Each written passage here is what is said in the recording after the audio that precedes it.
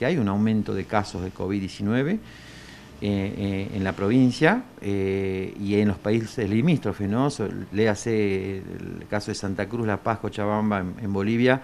donde ha habido un aumento de casi el 200% de, de las notificaciones. Perú que está teniendo una situación bastante complicada también, con un aumento de 300% en algunas localidades, con algunos fallecimientos. Así que bueno, evidentemente esta situación este, que, se hace paralelo a lo que pasa con dengue, ¿no? El flujo eh, de turismo, el flujo de la gente desde Argentina hacia Argentina y en los casos de, a nivel territorial de las distintas provincias,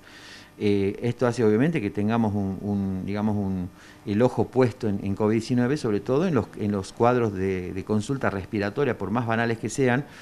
Estamos recomendando a la gente que está con síntomas respiratorios hacer la consulta precoz, pero fundamentalmente utilización del barbijo para evitar contagios a personas cercanas. ¿no? Pero eh, teniendo en cuenta el aumento de que hemos tenido, por lo menos en mi caso personal, y, bueno, algunos consultorios, algunos centros en los que nos han notificado un aumento de consultas de cuadros respiratorios,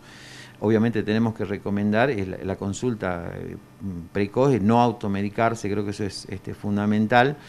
porque eh, evidentemente eh, es muy probable que tengamos un aumento de, cuadros respiratorios, sobre todo cuadros que son semejan cuadros pseudogripales, ¿no? con fiebre muy elevada, con dolor corporal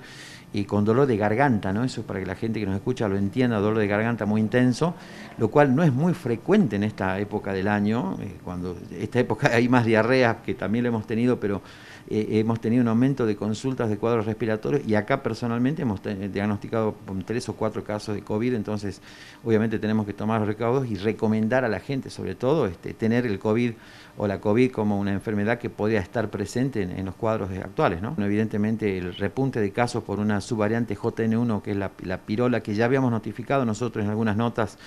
a mediados del año pasado, se está haciendo muy presente en 43 países. Y por supuesto el hecho de que esté presente ya en países limítrofes hace que tengamos el, ojo puesto en esta, en esta subvariante